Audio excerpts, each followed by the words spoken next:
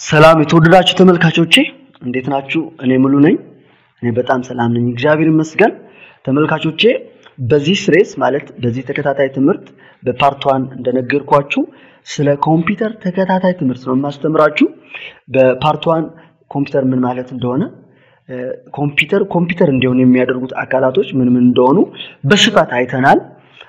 እናንተ ደግሞ በዚህ ርዕስ እንድታነቡ መጽሐፍቶች እንድታነቡ እመክራችኋለሁ።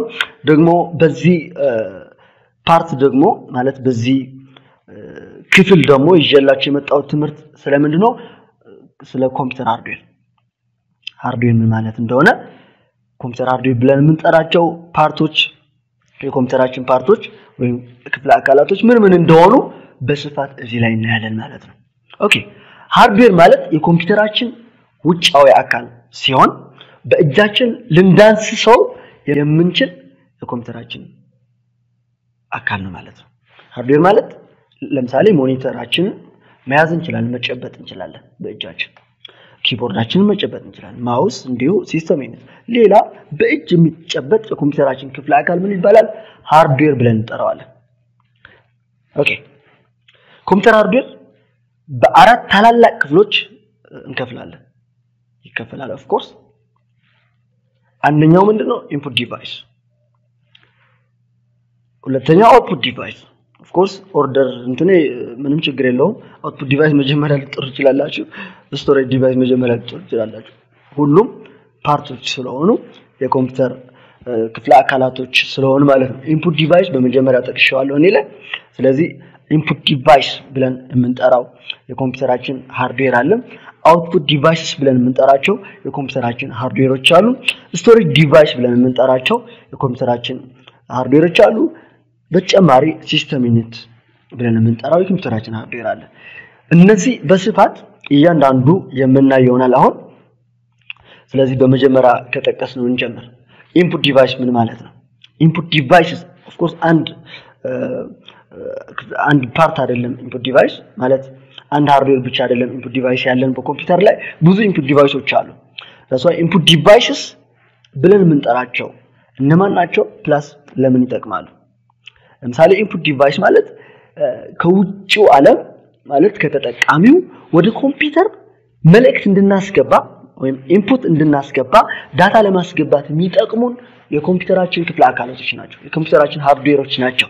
ለምሳሌ keyboard keyboard እንደምታውቁት ከ A እስከ Z letters እና ፊደሎች እና numbers ከዜሮ እስከ ዘጠኝ plus ሌሎች symbol ኦች የተለያዩ ነገሮች በጽሁፍ መልክ ወደ ኮምፒውተራችን data ለማስገባት የሚጠቅመን ኮምፒውተር hardware ማለት ነው። of course input device ነው። input device ብለን የጠራንበት አንዱ ምክንያት ምንድነው? ለማስገባት ስለምንጠቀምበት ነው።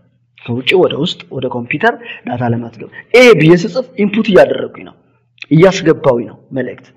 mouse ም እንዲሁ በሁለተኛ ደረጃ የምንጠራው mouse ነው። mouse mouse special data ለማስገባት ነው የሚጠቅመን። of course ምን ማለት ነው?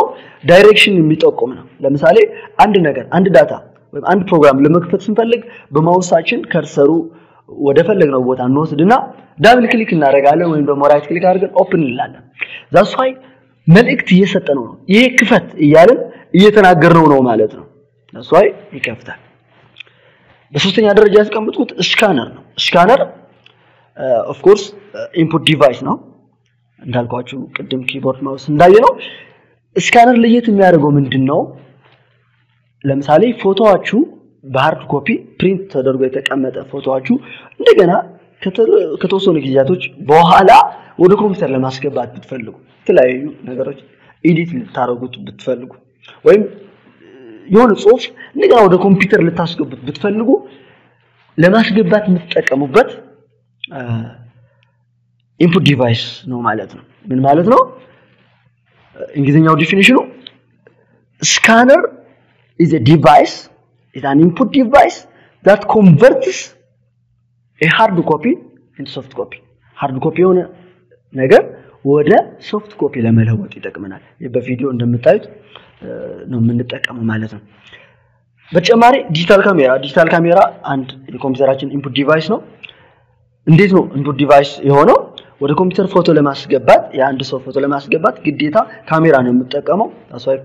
አንስቼ በኬብል ካሜራውን ከካሜራው ምን አደርጋለሁ ፎቶውን አስገባለሁ። that's why input device ነው። ወደ ኮምፒውተር የሆነ ነገር ኮምፒውተሬን ለመመገብ ወይም ወደ ኮምፒውተር የሆነ data ለማስገባት ተጠቅሜበታለሁ ማለት ነው።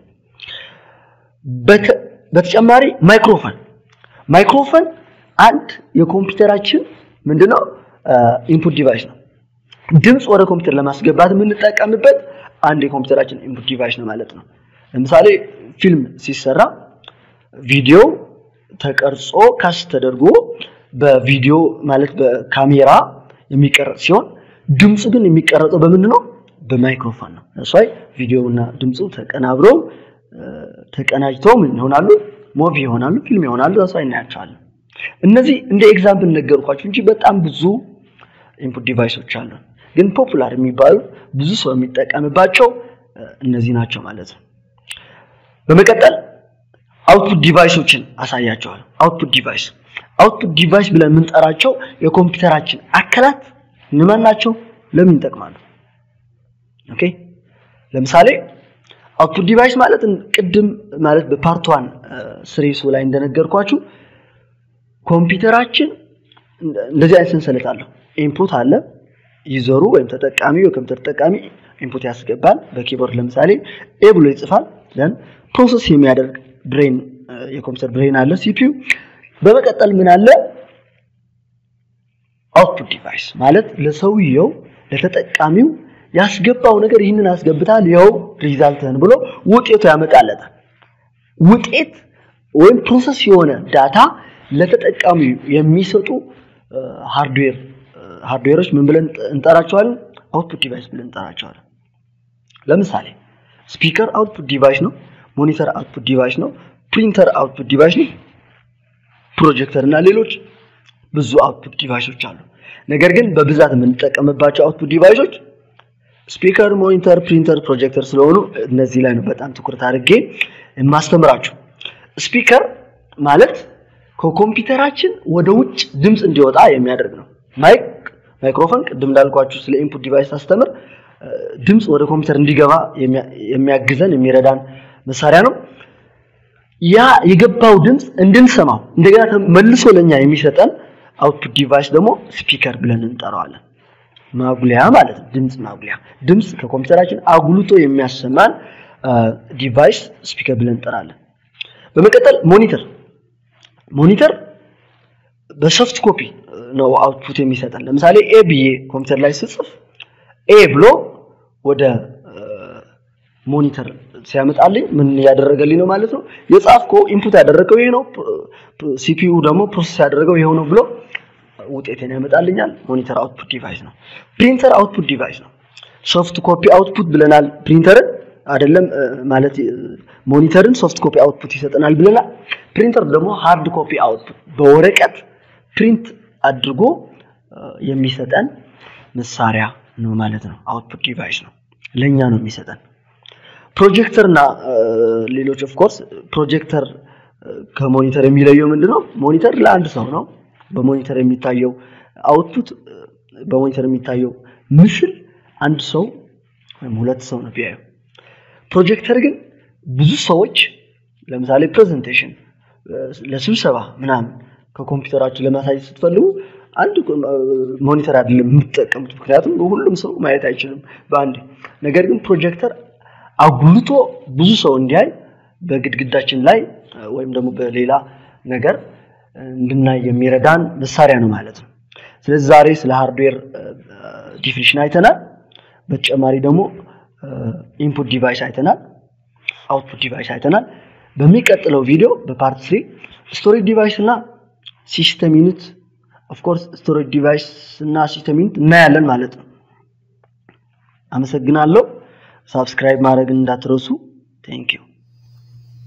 እንግዲህ ተመልካቾቼ እንደተመለከታችሁት በሰፊው ስለ hardware ማንነትና ስለ input እና output device አሳይቻችኋለሁ። አሁን revision ነው revise የማደርግላችሁ በቪዲዮ። ይሄ keyboard የምንለው የኮምፒውተራችን part ነው። እንዳሳየኋችሁ ከ A እስከ Z letters አሉ እዚህ numbers አሉ እዚህ እዚህም በተመሳሳይ numbers አሉ። special keys ብለን የምንጠራቸው እዚህ አሉ። በስፋት ስለ keyboard ሌላ ትምህርት አዘጋጃለሁ፣ አሳያችኋለሁ። ይህ ደግሞ mouse ነው። ሁለቱም keyboard ም ለ input ነው። ለምሳሌ እዚህ ላይ A ብዬ ልጻፍ ብል A ብዬ ጽፌያለሁ እንደገና B ጽፋለሁ keyboard ወዲያው የት ነው የማየው? monitor ኤ ላይ ነው የማየው ማለት ነው። monitor እንዳልኳችሁ output device ነው።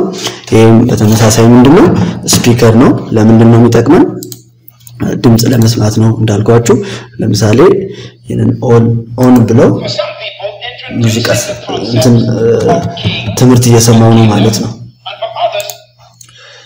ይሄ speaker ነው፣ ወረድ ማጉሊያ ነው እንዳልኳችሁ። ይሄ ደግሞ ፕሪንተር ነው።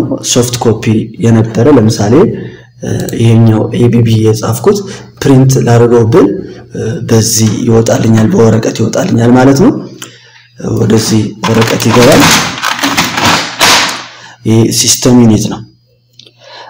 እንግዲህ በስፋት አሳያችኋለሁ እንዳልኳችሁ። ይህም mouse ይባላል። mouse left እና right button አሉት ሁለት እና ለምሳሌ cursor ኡ የሚታያችሁ ከሆነ እዚህ የሚንቀሳቀሰው cursor በ mouse ነው። የሆነ ነገር ለመክፈት ለምሳሌ start ብዬ ለመክፈት እዚህ click አደርጋለሁ በ mouse በቀጥታ ይከፍትልኛል። እንግዲህ ይሄ ይመስላል revision ኑ በስፋት አሁን theoretical ነው more እያስተማርኩ ያለሁት፣ ግን በስፋት አስተምራለሁ። ተከታተሉኝ፣ ሰብስክራይብ አድርጉ።